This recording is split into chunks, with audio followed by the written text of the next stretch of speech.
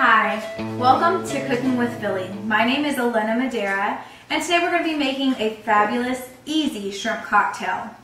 Now, the first item that you're going to need is some of Philly's premium wild caught shrimp.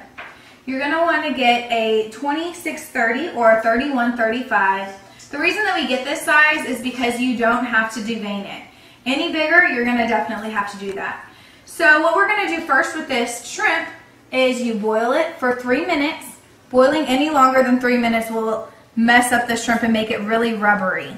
So set a timer, make sure that you have the water boiling, and then once you put it in, three minutes, no longer than that.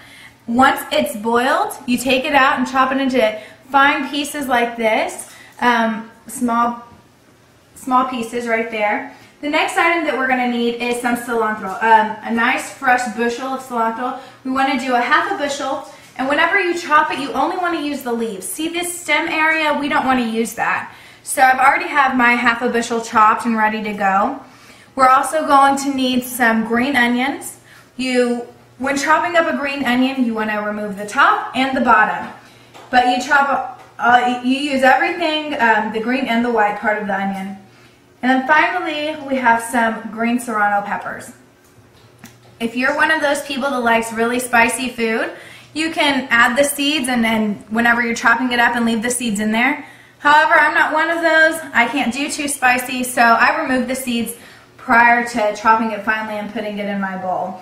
Um, and then we need seven limes to get it started. However, everything is to taste, so if you feel like you need more limes, then you can definitely add more lime juice. We just always start with seven and go from there. Uh, we also need to have some spicy V8. It's very important that you get the spicy, um, the spicy hot one because otherwise you're to mess up your whole dish. And then we need uh, some yummy Tabasco sauce. And again, you just you put this into taste.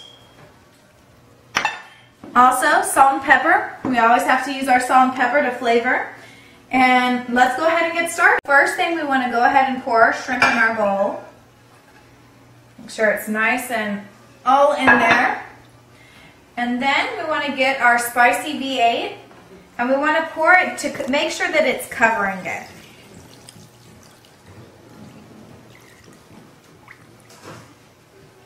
It's nice and covered. I'm going to go ahead and pour the whole, the whole thing nice and covered. Our next thing that we want to do is we want to go ahead and add our cilantro in there. We're just going to go ahead and add all of these ingredients before we mix it all up because we want to make sure it's nice and mixed. And then our jalapeno. Make sure that we add all of that, our two jalapeno peppers. And then our lime juice. So see, we have a nice filled bowl ready to go. And I actually, I like to add a little more lime. So I'm going to go ahead and get my lime squeezer here and squeeze in one more lime just to make sure that we get that all nice and juicy. All right. Now we need to add our Tabasco sauce. Now I just like to put a couple of shakes all in here. It comes out kind of slowly. Couple shakes there. And we want to make sure we're adding our pepper and our salt. All right. Mix it once again.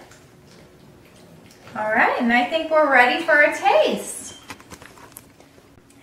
Okay, now that we've assembled everything, for best results, we want to assemble it 24 hours in advance. Go ahead and put this in the refrigerator, make sure it's covered, and let it marinate, let the shrimp marinate overnight. Um, and then if you are one of those that loves the avocado, this is also a great ingredient to add, but don't add it until the very end, right before serving. You want to cut it up and cube it and go ahead and put it in. So now to get a taste. Now I need my best taste tester over here. All right, Sophia, let's see. What do you think?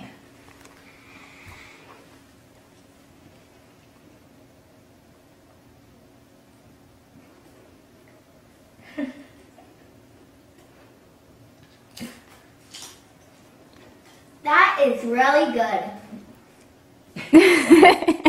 Always make sure that whenever you're doing any type of shrimp dish, that you go to your local grocery store and look for the bag with the cowboy riding the shrimp and ask for that Philly seafood. Thank you. Yeah, mountain